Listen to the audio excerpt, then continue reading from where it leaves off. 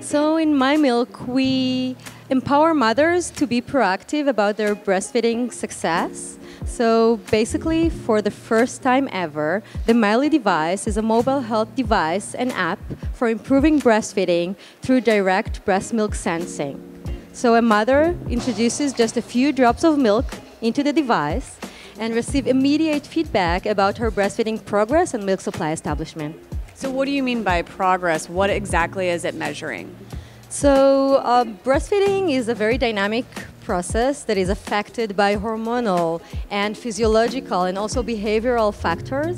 And breast milk matures from this early uh, milk, which is called colostrum, to fully mature milk. And this process takes several weeks to be fully accomplished.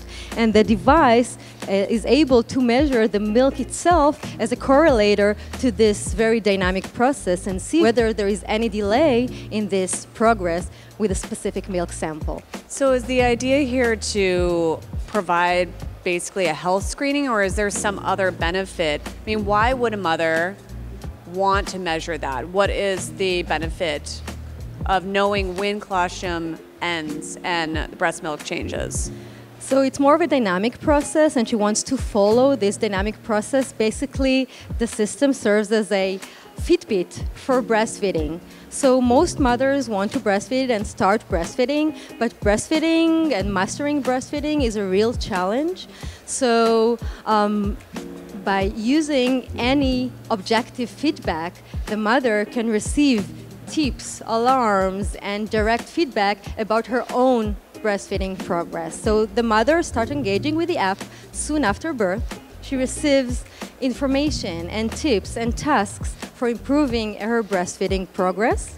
And then she makes daily scans of her milk to receive immediate feedback on where exactly she is in this gradual process. And she can share this unique report with a lactation consultant of her choice or with a like mother that are um, experienced with the same challenges that she's experiencing.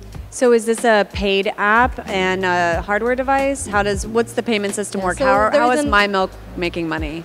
So the business model is basically B2C or B2B2C. The mother is purchasing the device and an app subscription, and then they are upsell through the app for premium services such as uh, lactation consultant uh, support or telemedicine support and in-depth analysis in lab-based testing. Well, thanks so much for Thank joining so me much. on stage, and uh, congratulations on making a wild card. Thank you.